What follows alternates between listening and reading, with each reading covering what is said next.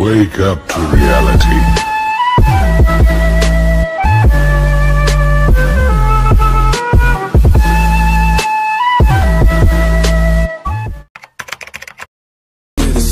If you ain't in your garden, you know that you can Call me when you want, call me when you need Call me in the morning, I'll be on the way Call me when you want, hello what's up guys welcome to इजर 99 and welcome to our another video I hope आप सभी लोग अच्छे होंगे और आगे भी जो है बढ़िया रहना।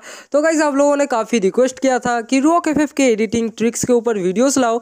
तो मैं ला चुका हूँ पहला वीडियो तो गाइज़ इस वीडियो में मैं आप लोगों को प्रीव्यू के जैसा वीडियो कैसे बनाते हैं वो सिखाने वाला हूँ। और इसी के साथ गाइज़ मैं आप लोगों के पास एक रिक्वेस्ट करना चाहता हूँ कि गाइज़ थोड़ा सपोर्ट किया करो, वीडियो को लाइक किया करो कमेंट किया करो वीडियोस को शेयर किया करो। हम लोग वन के सब्सक्राइबर्स के बहुत ज़्यादा करीब है तो जल्दी से वन के सब्सक्राइबर्स कंप्लीट करवा दो, ठीक है गाइज़ तो आज का एडिटिंग जो है स्टार्ट करते हैं, ठीक है?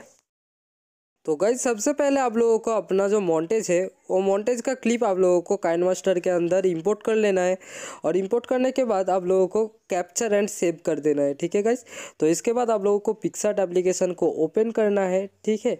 और वो वाला स्क्रीनशॉट को आप लोगों को सिलेक्ट करके कटआउट के ऊपर क्लिक कर देना है और इस तरीके से कुछ आउटलाइन कर लेना है, ठीक है गाइज़ तो मैं कर लेता हूँ, रुकिए।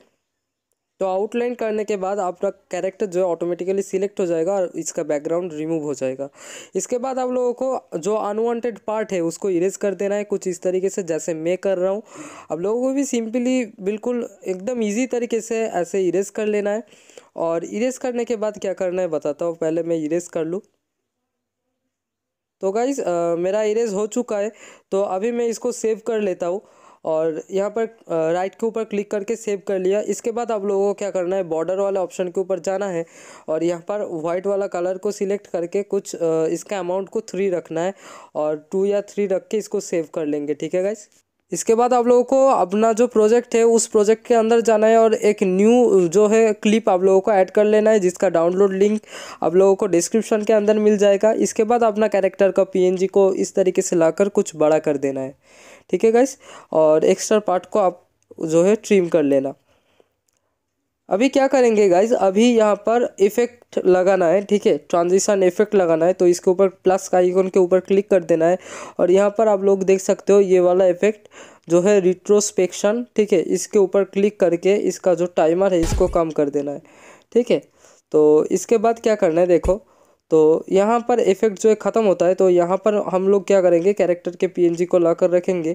और यहाँ पर क्या करना है आप लोगों को ध्यान से देखना, यहाँ पर हम एंडिंग वाले सेक्शन के ऊपर जाएँगे और एंडिंग वाले सेक्शन के ऊपर जाकर हम लोगों को कैरेक्टर को छोटा कर देना है, ठीक है? तो कुछ इस तरीके से छोटा हो जाएगा कैरेक्टर और आपका एनिमेशन लग जाएगा। इसको थोड़ा ऊपर कर देते तो देख सकते हो इस तरीके से एनिमेशन आ गया है। तो इसको नीचे रख देते ठीक मतलब आप अपने हिसाब से एडजस्ट करिएगा, ठीक है? तो मैंने कर दिया है। तो देख सकते हो कुछ इस तरीके से एनिमेशन आ गया है। तो गाइज़ इतना करने के बाद आप लोगों को फिर से एक इमेज मिल जाएगा डिस्क्रिप्शन के अंदर। तो उस इमेज को यहाँ पर ऐड कर लेना है। ऐड कर लेने के बाद कुछ इस तरीके से आप लोगों को साइज़ को बड़ा कर देना है। और साइज़ को बड़ा करने के बाद आप लोगों को इस जो है इमेज का एंडिंग वाले पोजीशन पर जाना है और प्लस आइकन के ऊपर क्लिक करके इसको कुछ इस तरीके से सेट कर देना है। देख सकते हो, जैसे मैंने सेट किया, थोड़ा नीचे ला देंगे, ठीक है? तो इसको छोटा करके कुछ इस तरीके से थोड़ा नीचे कर देंगे। तो देख सकते हो तो इसके बाद आप लोगों को क्लिप को विगनेट कर देना है। बस, अपना पहला जो है काम वो हो चुका है। तो गाइज़ इसके बाद आप लोगों को क्या करना है, ध्यान से देखना। इसके बाद इफेक्ट्स के अंदर जाके आप लोगों को विगनेट वाला इफ़ेक्ट को सिलेक्ट कर लेना है और सिलेक्ट करके कुछ साइज़ में जो है आप लोगों को साइज़ में बड़ा कर देना है, ठीक है? तो इस तरीके से कुछ साइज़ को बड़ा कर देना है विगनेट के इफ़ेक्ट को। और इसके बाद गाइज़ आप लोगों को इसको थोड़ा आगे लाना है। इसके बाद गाइज़ आप लोगों को गॉसन ब्लर ऐड करना है, ठीक है? तो इफेक्ट्स के अंदर, फिर से जाएँगे और एकदम लास्ट में बेसिक इफेक्ट्स के अंदर आप लोगों को गौसन ब्लर मिल जाएगा। तो वहाँ से आप लोगों को इसको सिलेक्ट कर लेना है। और आप लोगों को क्या करना है, आप लोगों को इसमें एनिमेशन की ऐड करना है। उससे पहले इसको क्रॉप कर लेंगे इस तरीके से और इसको छोटा कर देंगे। अभी एनिमेशन की में जाएँगे और लास्ट में आएँगे और प्लस आइकन के ऊपर क्लिक करके इसको बड़ा कर देंगे। तो अपना एनिमेशन जो है ऐड हो जाएगा यहाँ पर। तो गलत हो गया, एक मिनट रुकिए। तो यहाँ पर आके इसको सेंट्रल में रख देंगे ठीक है? मतलब मिडिल में रख देंगे एकदम। तो हमारा आ, काम हो जाएगा इसको अभी बड़ा कर देंगे कुछ इस तरीके से। तो अपना जो है ब्लर ऐड हो गया है बिल्कुल सही तरीके से आप लोग देख सकते हो।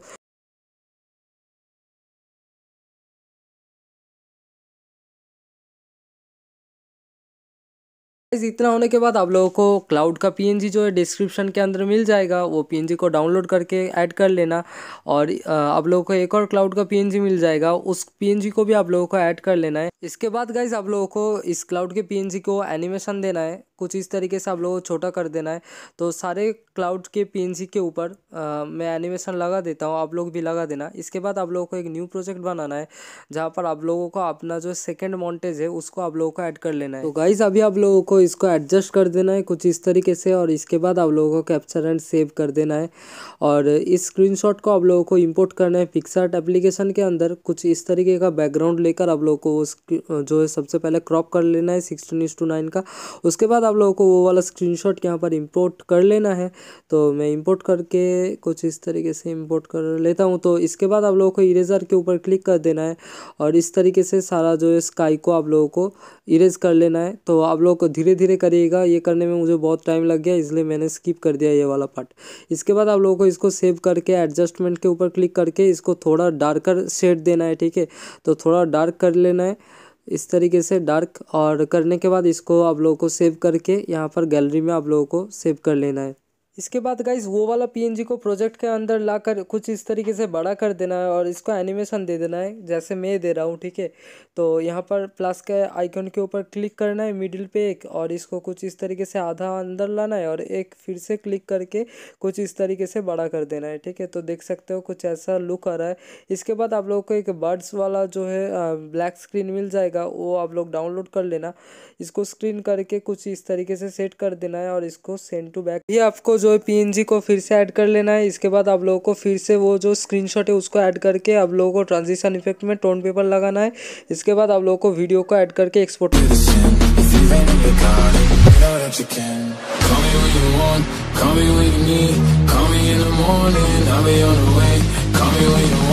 Call